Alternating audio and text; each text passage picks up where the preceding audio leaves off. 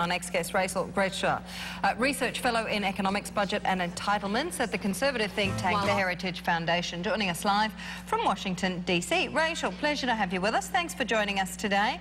Um, give us a sense of what your view is now on where the tax reform process is at and whether we're likely to get anything tabled before Christmas.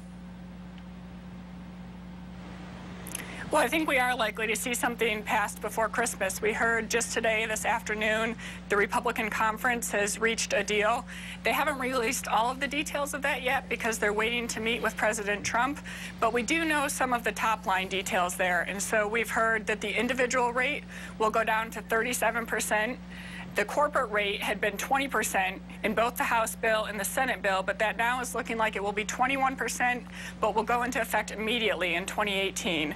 And then there's also a change in the pass-through rate. So the pass-through rate is the individual rate, but this compromise bill would allow a 20% deduction. So that takes the top marginal rate for pass-throughs down below 30%. So those are the big changes that we've heard of here, and we've heard that they will be voting early next week in the Senate, followed by the House, to hopefully get this passed very soon.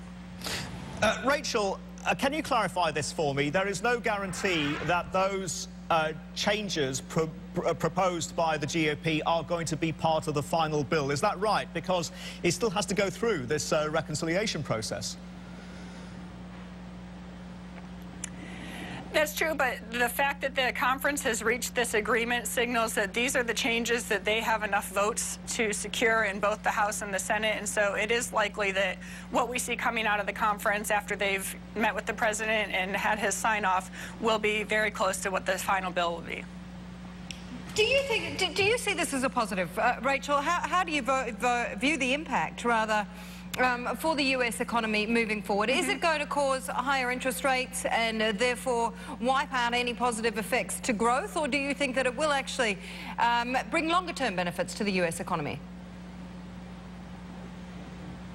No, I think this will be a big net positive for the economy. It's not everything that conservatives had hoped for in terms of a really pro-growth tax bill, but particularly on the corporate side and the small business side, this has great positive impacts there. And so the result of reducing our top corporate rate from 35% to 20% and also shifting to territorial system, that will have huge impacts across the economy. You know, that's going to make us more competitive in America. And not only are there tax cuts for individuals individuals and families, but they're also going to see the benefit of those corporate tax cuts through higher wages, um, through higher returns on their investment, and potentially lower prices from those corporations. So I think this uh, is a big win. We've estimated up to 3% growth Right, so 3%, 3% growth on a sustained basis, which means, Rachel, uh, correct me if I'm wrong, that this will be self-funding. Within the 10-year budget window, it's not self-funding. It's not as big of a deficit increase as this um, non-dynamic scores show.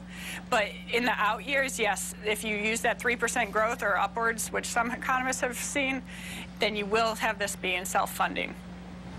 Okay, something to watch. Uh, we're very close to Christmas now, so we'll be keeping a close eye on it. Rachel, thanks so much for talking to, my, to Sri and myself here on Squawk Box.